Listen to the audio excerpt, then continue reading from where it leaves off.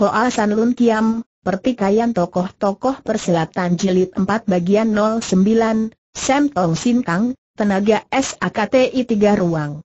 Dia memasuki kamarnya lewat jendela, tetapi begitu membuka daun jendela, dia melihat Oye Yoksu tengah duduk di tepi pembaringan, tengah duduk termenung. Muridku panggil sang guru ini sambil tertawa. Oye Yoksu terkejut, dia tersadar dari lamunannya. Suhu panggilnya. Ke mana kau pergi? Suhu. Membuat. Tecu. Jadi bingung. Aku bertemu dengan seorang sahabat, dan kami telah bercakap-cakap sampai lupa waktu menjelaskan Teng Chun Liang.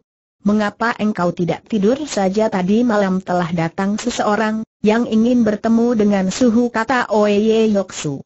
Siapa katanya dia bergelar Angsi Kiam dan bernama Tu Lising menjelaskan Oye Yoksu.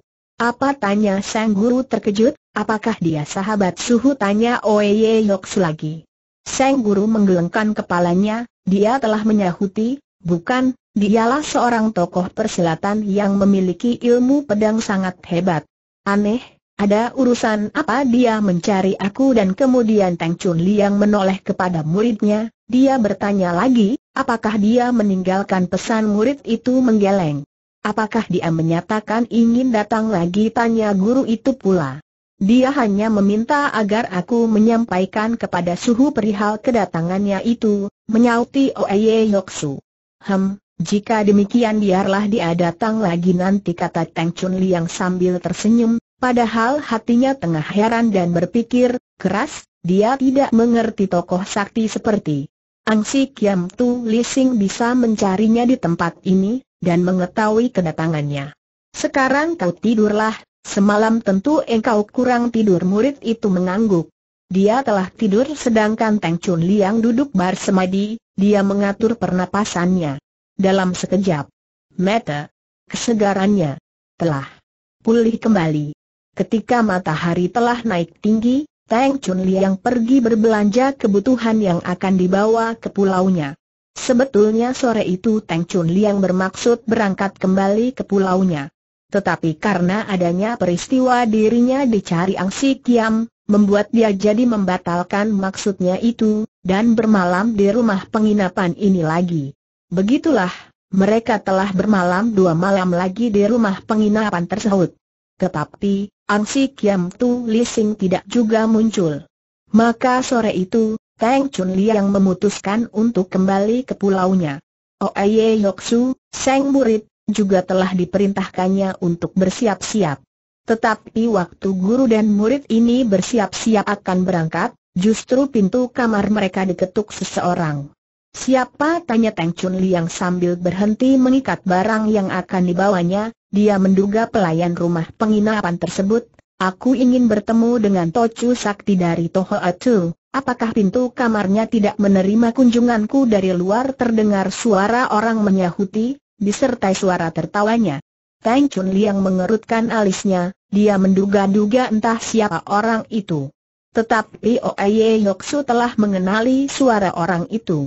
Dialah Hang Si Kiam Tu Lising, suhu, dia memberitahukan kepada gurunya. Teng Chun Liang. Cepat-cepat. Membuka. Pintu kamarnya. Di luar kamarnya berdiri seorang lelaki pendek gemuk yang tengah tertawa lebar. Ah, kiranya yang kau, si tua, situ tanda seru berseru Teng Chun Liang girang. Sedangkan orang itu, yang memang tidak lain dari Ang Si Kiam Tu Lising, telah tertawa lebar, sambil katanya, benar, apakah kedatanganku ini membuat engkau jengkel saudara Teng Teng Chun Liang mempersilahkan tamunya itu masuk ke dalam kamarnya. Muridku menceritakan malam yang lalu engkau mengunjungiku, benarkah itu tanya Teng Chun Liang lagi, setelah mereka saling mengambil tempat Ciu. Benar, muridmu luar biasa, memiliki bakat yang baik, engkau beruntung sekali, tua bangka si Teng Hem, Mengapa engkau mengetahui kunjunganku di kota ini? Tanya Teng Chun Liang lagi, dia bertanya sambil mengawasi Ang Si Kiam, karena dia ingin mengetahui apa yang akan dikatakan oleh orang situ itu. Siapa yang tidak mengetahui Tochu Toho Acu? Tentu saja, begitu engkau sampai di sini, semua orang rimba persilatan juga akan mengetahuinya, bahwa di kota ini telah berkunjung seorang sakti yang memiliki kepandaian luar biasa. Titik. AKH, engkau hanya menyindir saja kata Teng Chun Liang. Oye Yok saat itu telah ikut berkata, suhu, waktu itu tuh peh paman tu, telah mengatakan, setengah sahabat, setengah bukan, apakah maksudnya itu Sang Guru tertawa. Kami memang bersahabat, tu peh itu merupakan sahabat lamaku, nah, sekarang engkau harus memberi hormat kepadanya Oye Yok menurut, dia telah berlutut sambil memanggutkan kepalanya tiga kali, dan dia juga memanggil Tu Peh Peh, Techu Aye Yoksu menghunjuk hormat bagus. Bagus. Berdirilah bocah manis, kata Tu Lising, malam itu aku telah mengujinya, dan membuat dia dua kali jungkir balik. Apakah Hengka si tua bangka si Teng tidak marah kepadaku Teng Chun Liang tertawa lebar, katanya, engkau tentunya ingin menguji muridku itu untuk mengetahui apakah anak ini memang patut menjadi muridku, mengapa aku harus marah? Ang Si Kiam juga tertawa, dia berkata, lima tahun yang lalu kita pernah mengadu kepandaian, dan kini kepandaianmu si tua bangka si Teng pasti telah bertambah lihai saja, dengan beberapa jurus aku tentu akan berhasil. Engkau rubuhkah? Engkau bicara putar balik, Justru engkau ingin mengartikan bahwa akulah yang akan engkau rubuhkan dalam beberapa jurus saja. Karena kini engkau telah berhasil melatih diri dengan ilmu yang lihai dasar tua bangka situ yang mulutnya tajam dan setelah berkata demikian, Teng Chun Liang mengiringi tertawanya Ang Si Kiam. Waktu itu Ang Si Kiam Tu Lising telah berkata dengan suara yang gembira, apakah selama ini engkau telah berhasil menciptakan ilmu pula Teng Chun Liang menggeleng, tiba-tiba wajahnya berubah menjadi murung. Saudara Tu, katanya kemudian.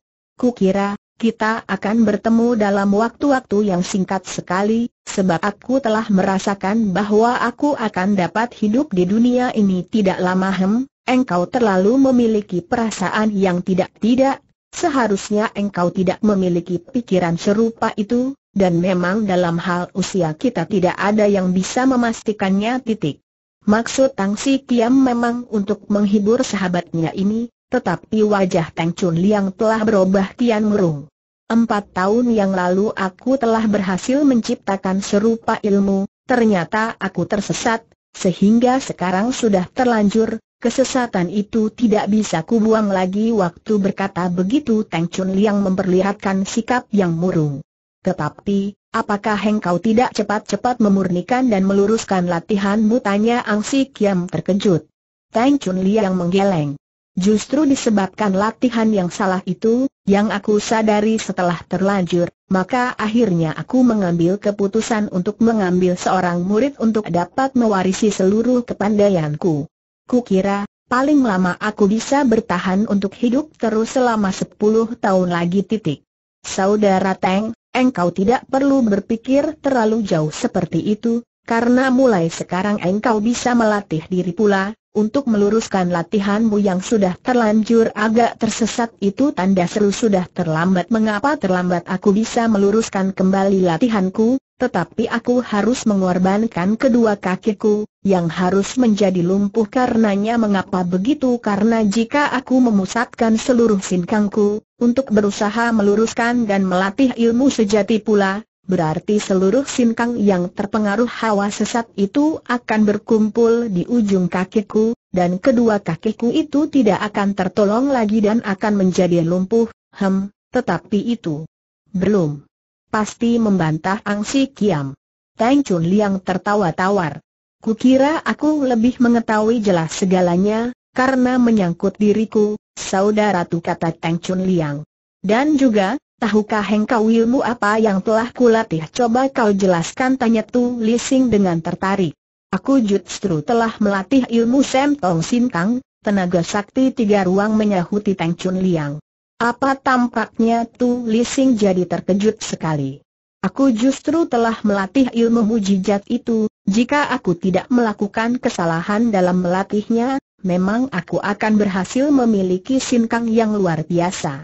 Hanya sayangnya, justru pada bagian pemberitahuan care-care melatihnya, telah lenyap beberapa lembar, sehingga aku melatih sendiri. Lebih celakanya lagi, justru di saat aku telah melatih habis semuanya, baru aku menyadari bahwa aku telah melakukan kesalahan dan sinkang hebat itu yang kulatih telah menjadi tersesat Si Kia menghela napas dalam-dalam, untuk sementara waktu dia tidak mengatakan apa-apa. Sedangkan Oye Yoksu yang tidak mengerti urusan yang tengah dibicarakan guru dan orang situ itu, dia hanya berdiam diri mendengarkan saja.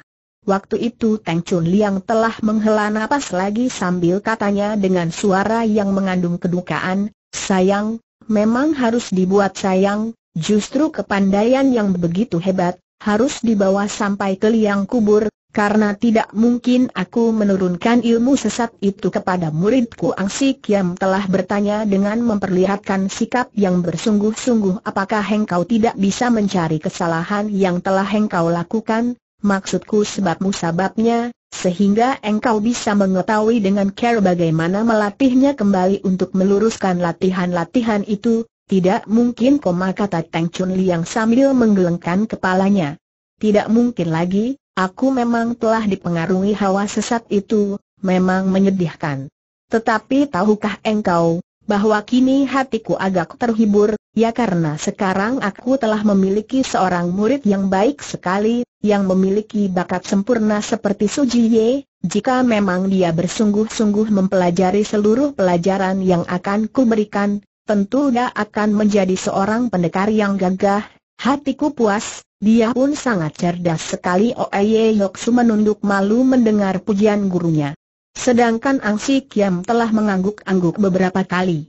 Jika memang engkau mendidiknya dengan baik, tentu anak itu akan menjadi bintangnya rimba persilatan kata Ang Si Kiam.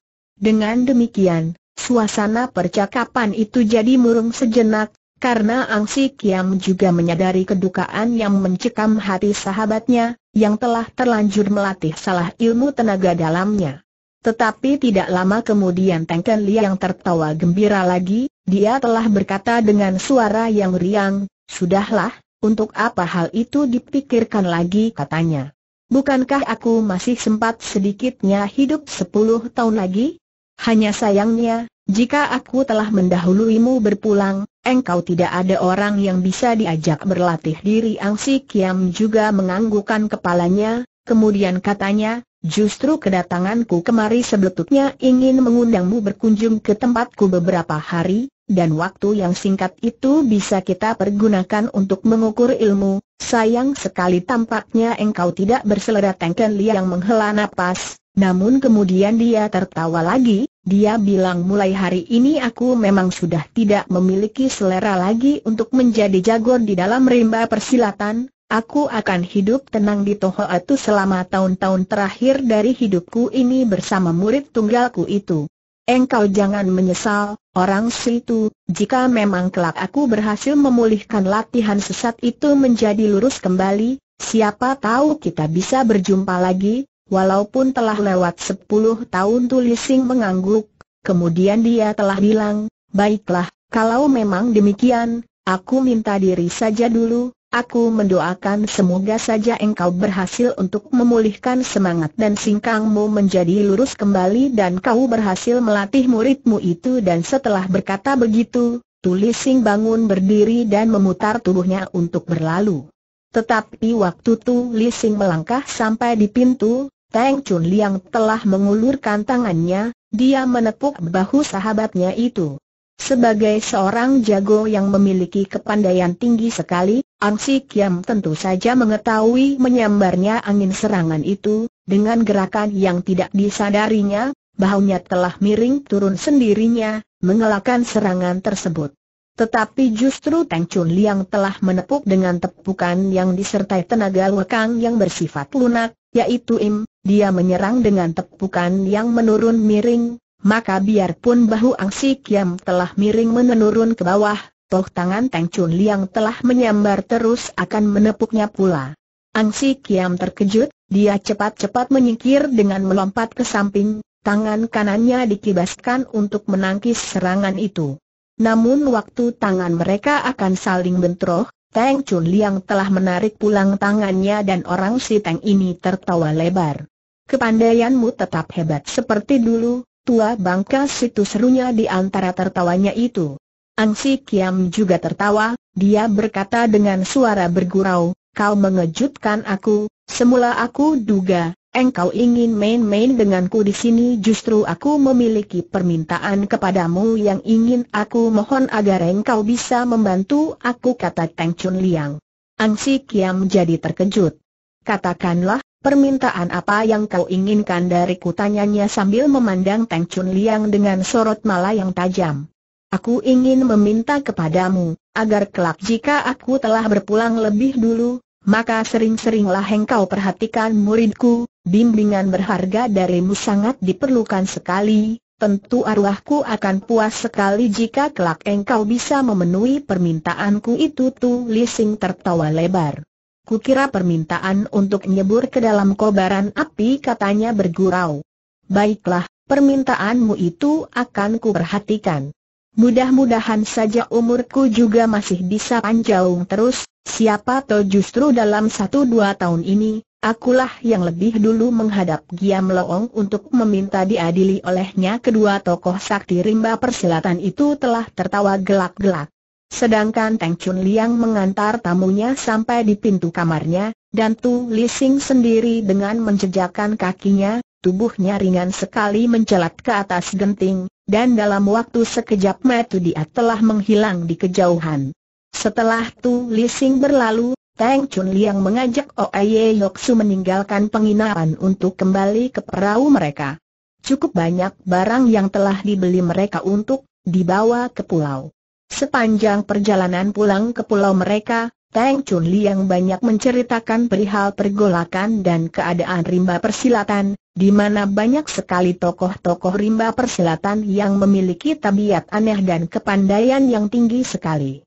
Oye Yoksu begitu tertarik mendengar cerita gurunya, ia mendengari terus sambil mengayuh perlahan-lahan, sehingga perahu mereka berlayar dengan perlahan, dan saat itu memang cuaca baik sekali, laut jarang sekali dilanda gelombang yang besar.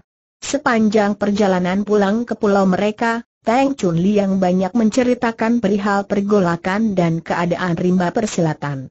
Teng Chun Liang sendiri sengaja menceritakan seluruh keadaan rimba persilatan, karena ia menghendaki agar muridnya ini memiliki pengetahuan yang iwas, dan mengenal lebih mendalam tentang kehidupan tokoh-tokoh silat yang ada pada masa itu. Di samping itu juga Teng Chun Liang telah memberikan petunjuk-petunjuknya, tentang kepandaian aneh-aneh yang dimiliki oleh beberapa orang rimba persilatan.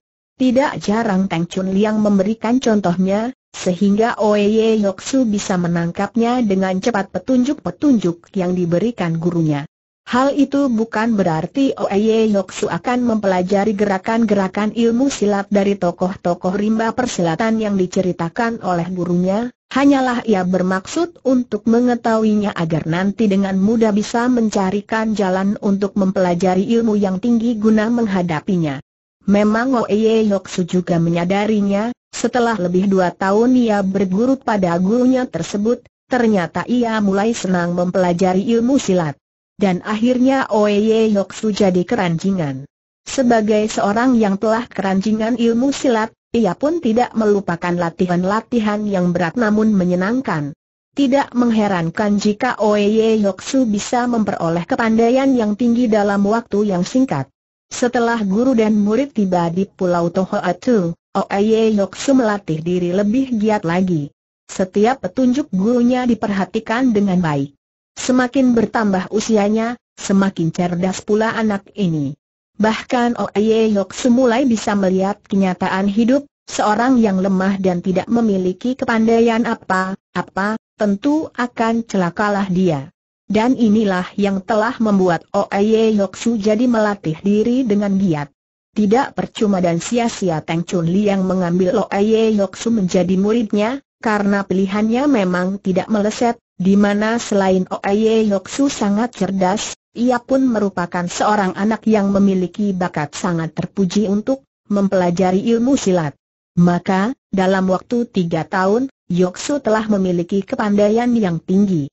Begitulah, Setiap hari Oye Yoksu telah menerima pelajaran ilmu silat dari gurunya ilmu kelas wahid tentunya. Dan semua itu bisa dipelajari oleh Oye Yoksu dengan baik. Waktu Oye Yoksu berusia 17 tahun, Ja merupakan seorang pemuda yang tampan, selalu rapih, pendiam dan bersikap sungguh-sungguh dalam melakukan sesuatu urusan.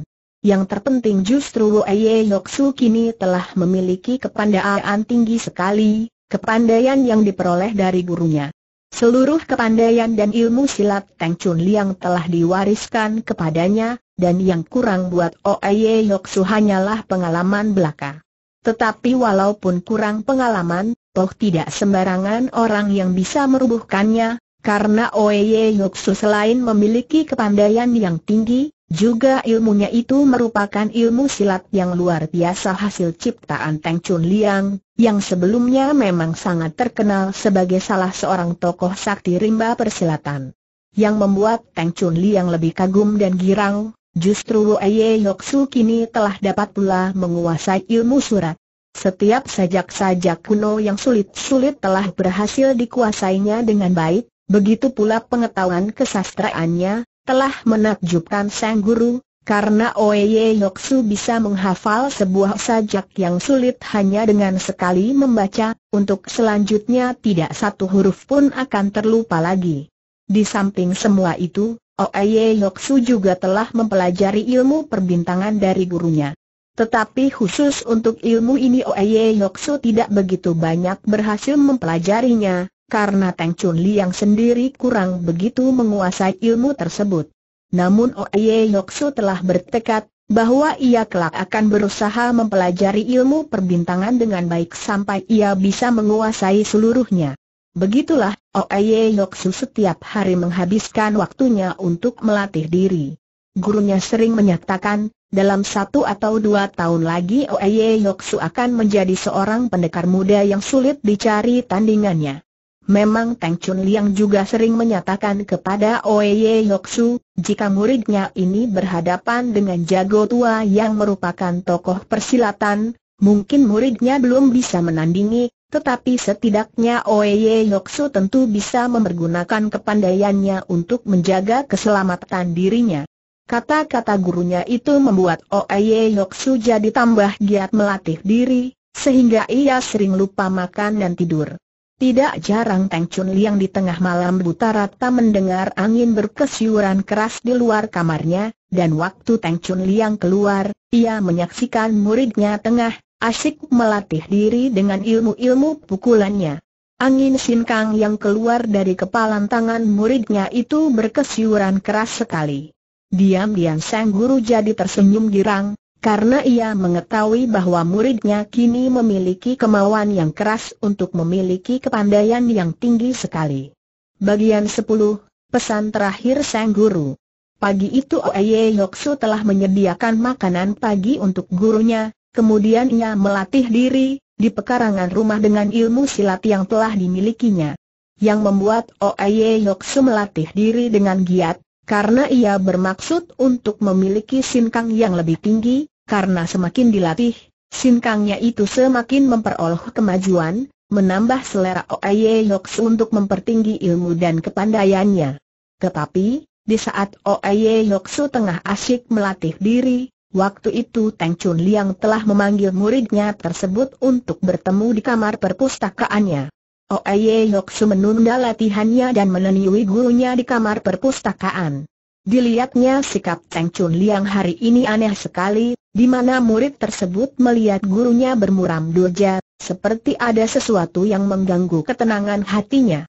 Waktu melihat muridnya telah datang, Teng Chun Liang menyuruh murid tersebut untuk duduk di sebuah kursi kayu yang kasar buatannya, karena dibuatnya sendiri. Murid itu menurut perintah gurunya, dia telah duduk dengan rapih untuk mendengarkan kata-kata gurunya. Waktu-waktu berlalu, tetapi Teng Chun Liang belum juga membuka suara. Guru ini telah berdiri di muka jendela, mengawasi keluar mengawasi bunga-bunga yang banyak bertumbuhan di pelataran rumah. Teng Chun Liang juga menghela napas berulang kali, barulah kemudian meminta tubuhnya menoleh kepada muridnya, yang waktu itu tengah duduk agak gelisah menantikan apa yang ingin dikatakan oleh gurunya tersebut. Muridku, engkau tentu mengetahui tiada pesta yang tidak akan berakhir bukan tanya gurunya. Oye Yoksu mengangguk, hatinya mulai merasa tidak enak. Apa maksud suhu tanya murid ini? Dan tidak ada sesuatu yang abadi di dunia, perpisahan selalu terdapat untuk sebuah pertemuan. Maka dari itu, jika selanjutnya kita toh berpisah, engkau jangan terlalu bersusah hati titik. Dengarkan dulu kata-kataku, kata Teng Chun Liang sambil mengulap-ulapkan tangannya. Jangan engkau memotong kata-kataku. Sekarang engkau mulai dewasa, dan juga seluruh kepandaianku telah kuturunkan semua, di mana engkau telah berhasil untuk mempelajarinya dengan baik, yang kurang untukmu hanyalah pengalaman belaka tetapi, walaupun demikian, jarang sekali ada orang yang bisa merubuhkan engkau, hanya beberapa orang tokoh sakti saja kukira yang bisa menundukkanmu. Dengan kepandaian yang sekarang engkau miliki, engkau telah menjadi seorang yang memiliki kekuatan untuk melakukan suatu apa pun yang engkau kehendaki. Tetapi walaupun demikian, engkau tidak boleh angkuh atau terlalu menyombongkan kepandaianmu. Inilah yang harus engkau ingat benar, karena langit ini demikian luas, dunia demikian lapang, masih banyak jago lainnya di samping engkau. Terpenting sekali adalah engkau harus terus-menerus melatih diri sampai mencapai puncak kesempurnaan ilmumu, sehingga kelak engkau bisa menonjol sebagai seorang jago yang memiliki kepandaian yang tidak terkalahkan, terutama tidak mendatangkan malu untuk gurumu yang telah bersusah payah mendidikmu Tecu akan memperhatikan nasihat suhu kata Oye Yoksu sambil menunduk dengan hati yang tidak tenang. Ya, syukur jika engkau kelak bisa melatih diri terus dan menjadi seorang jago yang berkepandaian tinggi itulah yang sangat kuharapkan sekali. Di samping itu, engkau pun harus sering-sering meminta petunjuk-petunjuk dari golongan Lo Chiam Pua, golongan tua, untuk menambah pengetahuanmu. Terutama sekali kepada Tu Lising, ia telah berjanji untuk membagi waktunya mengawasi dirimu setelah aku tiada suhu Teng Chun Li yang menghela. Napas. Panjang, wajahnya muram.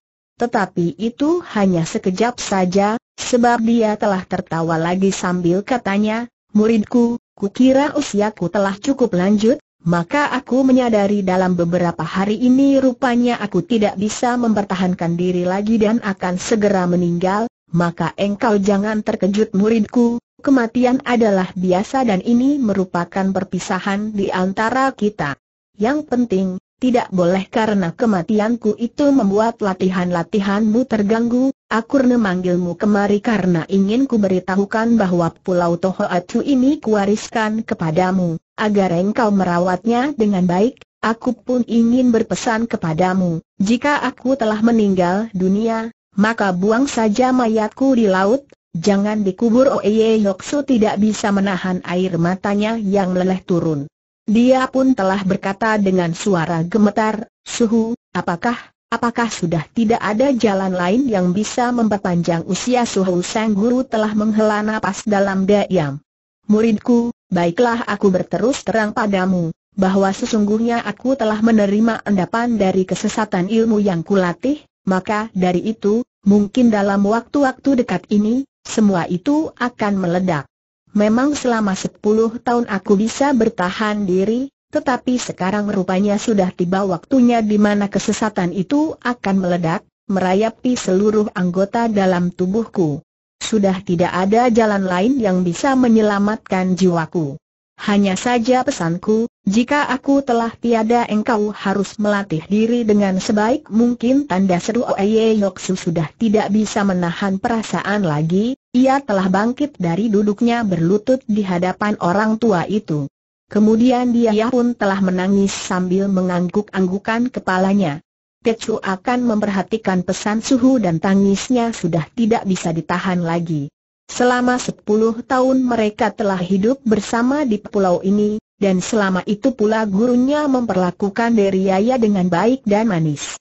Sekarang gurunya menyatakan ia akan meninggal dunia karena kesesatan yang mengendap di dalam tubuhnya.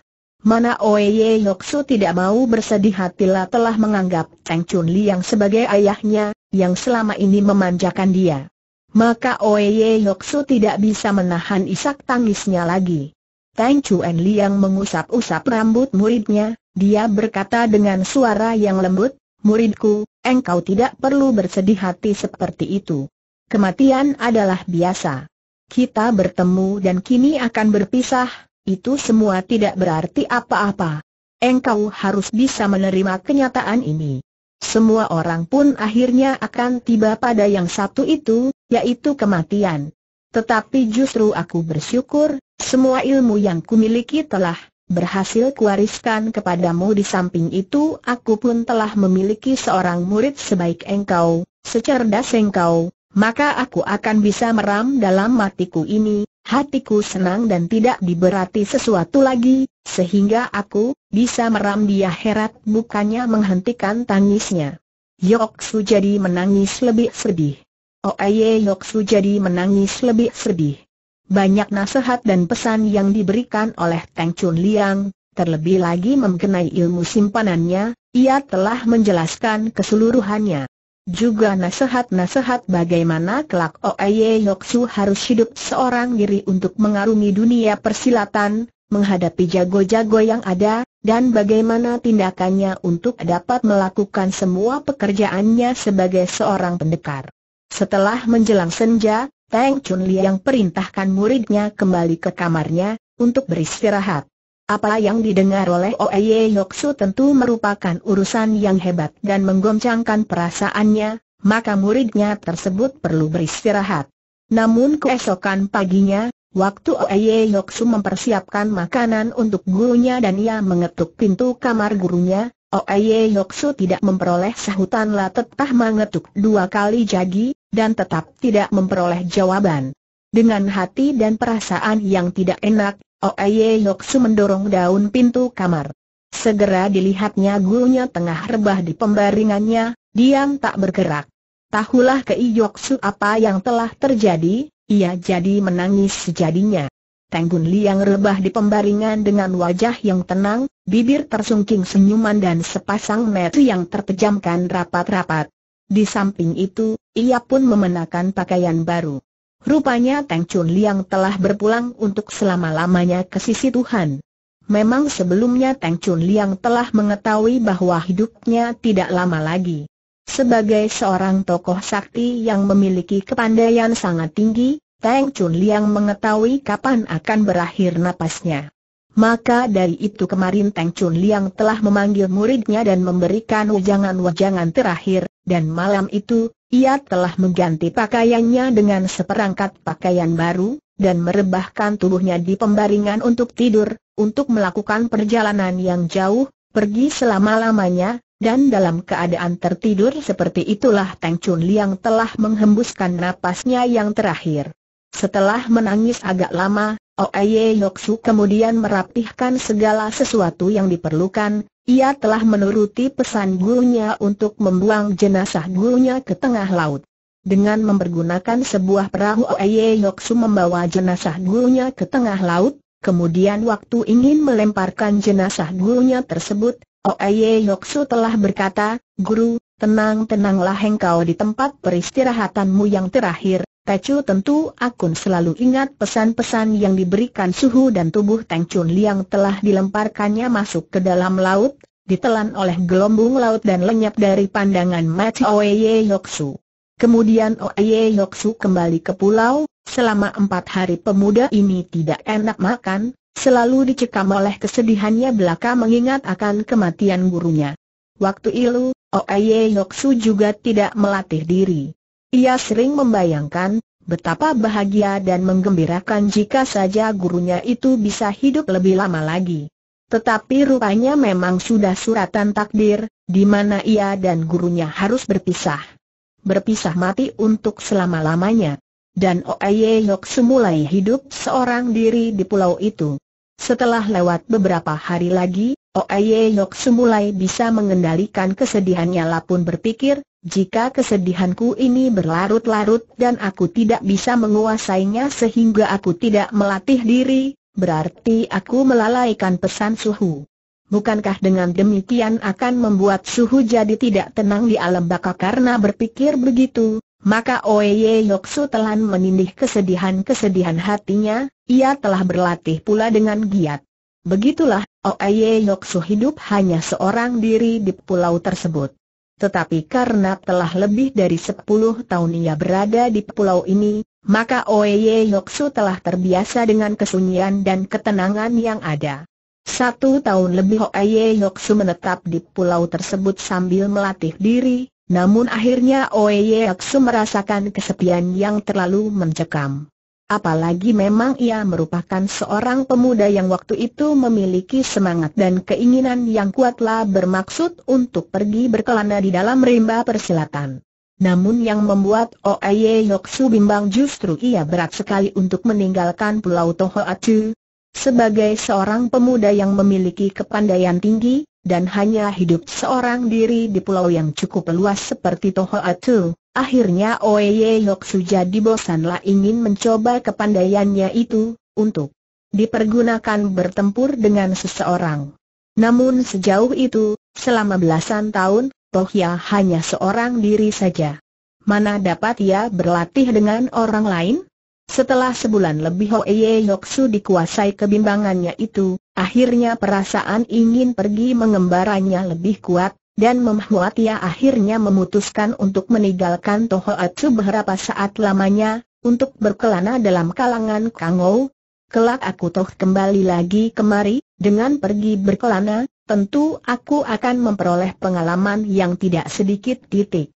Bulatlah tekad Oye Yoksu untuk meninggalkan Tohoatu sementara waktu, ia pun telah mempersiapkan perbekalan untuk melakukan perjalanan. Dua hari kemudian, di pagi hari yang cerah, di mana langit bersih dari awan dan air laut tidak terlalu bergelombang hebat, dengan mempergunakan sebuah perahu ia telah meninggalkan Tohoatu. Bagian 11, Oye Yoksu meninggalkan Tohoatu, Belasan hari lamanya Oye Yoksu berada di tengah laut, dan selama dalam perjalanan tersebut pikirannya selalu terkenang pada kebaikan-kebaikan gurunya. Tang Chun Liang lah yang telah membuat Oye Yoksu kini menjadi seorang pemuda yang gagah perkasa dan memiliki kepandaian yang luar biasa. Tetapi siang itu, waktu Oye Yoksu tengah mengayuh perahunya, ia merasakan tubuhnya seperti disengat-sengat oleh panasnya udara, di samping itu juga langit biru bersih dan air laut seperti mendidih oleh panasnya udara. Dan yang lebih mengejutkan Oye Yoksu lagi, ia mengetahui apa artinya udara yang panas melebihi dari biasanya itu. Celaka mengeluh Oye Yoksu dalam hatinya, inilah tanda-tanda topan akan segera muncul, aku harus cepat-cepat menyingkir dan Oye Yoksu mempercepat gerakan kayu pengayuhnya, dia harus cepat-cepat menyingkir dari daerah laut tersebut. Tetapi terlambat.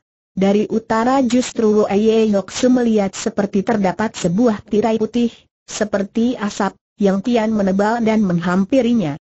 Bahkan air laut pun mulai bergerak-gerak semakin lama merupakan gelombang yang kuat, bergulung-gulung semakin tinggi, sehingga perahu Oye Yoksu seperti juga dipermainkan oleh gelombang tersebut dan membuat pemuda ini sulit menguasai perahunya. Sedangkan tirai asap yang tengah menuju ke arahnya semakin mendekat, cepat sekali semuanya itu terjadi, dan Oye Yoksu merasakan seluruh pakaiannya berkibar terhembus angin yang kuat. Oye Yoksu mengerti apa yang telah terjadi saat itu. Angin topan telah datang, dan ia sudah tidak memiliki pilihan lain, disimpannya kayu pengayuhnya dan ia memeluk perahunya dengan tubuh bertiarap. Dengan sikap seperti ini Oye Yok Su hendak mengurangi terpaan angin topan itu. Dan ia merasakan kepalanya pusing bukan main, karena perahu yang dipeluknya itu terpontang-panting dilemparkan gelombang yang besar ke sana kemari tiada hentinya, perahu itu bagaikan sebuah belahan kulit kacang, yang tengah dipermainkan oleh gelombang laut yang ganas dan buas itu. Oye Yoksu merasakan matanya berkunang-kunang selain kepalanya yang pusing. Juga perbekalan makanan yang ada di perahunya telah lenyap, entah diterbangkan ke mana. Tetapi Oye Yoksu masih terus mempertahankan dirinya dari seretan angin topan yang begitu dahsyat. ia tetap mengerahkan lekangnya dan memeluki perahunya dengan kuat, sehingga tubuhnya seperti melekat di perahunya tersebut. Namun, karena perahunya itu berputar-putar pontang-panting tidak hentinya dipermainkan gelombang, akhirnya membuat Oaye Yoksu seperti kehabisan napas, kepalanya pusing dengan pandangan mata menjadi gelap. Ia mengeluh, jika hal ini berlangsung terus lebih lama, tentu ia tidak akan kuat untuk bertahan terus, maka ia akan menjadi korban dari angin topan itu, yang tentunya akan melemparkannya entah ke mana. Tetapi sebagai seorang pemuda yang belasan tahun lamanya memperoleh gemblengan diri dan tenaga dalam, akhirnya membuat Oaye Yoksu masih bisa bertahan terus. Dia mengerahkan semangat dan tenaga saktinya memeluki perahunya, seperti juga tubuhnya telah melekat menjadi satu dengan perahunya tersebut. Justru yang dikhawatirkan oleh Hoaye Yoksu adalah batu karang. Kalau saja kebetulan di sekitar laut tersebut terdapat karang, habislah riwayatnya, karena perahunya niscaya akan membentur hebat karang itu. Tetapi syukur sejauh itu tidak ada bahaya lain, hanya perahunya yang terus berpusing-pusing kuat sekali, di mana tubuh Oye Yoksu juga jadi berputar tiada hentinya. Pemuda tersebut merasakan tenaganya seperti habis terkuras, ia telah berputus asa. Ah, rupanya hidupku hanya sampai di sini saja, inikah cara untuk menyusul suhu pikir pemuda itu dalam keadaan putus asa.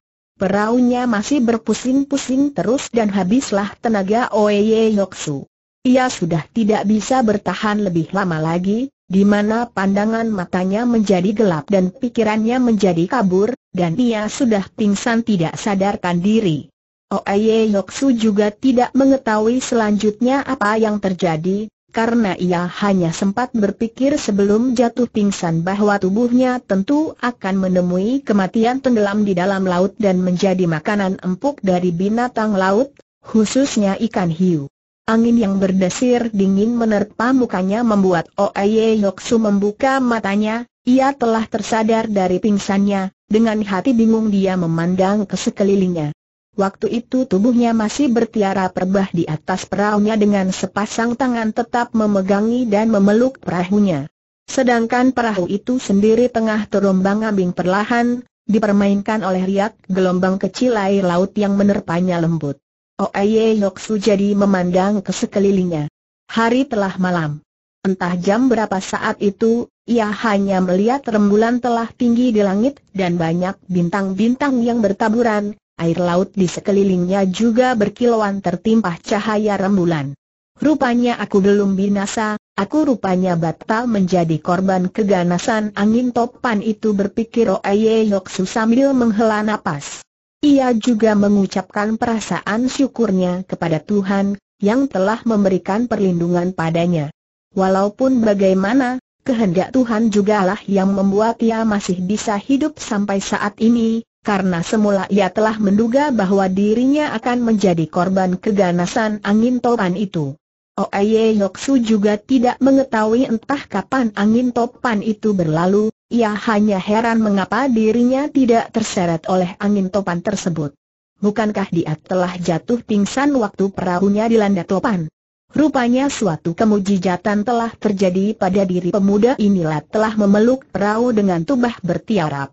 Dan waktu memeluki perahunya itu Oye Yoksu telah mengerahkan sinkangnya, sehingga sepuluh jari jemari tangannya seperti tertancap di tubuh perahu.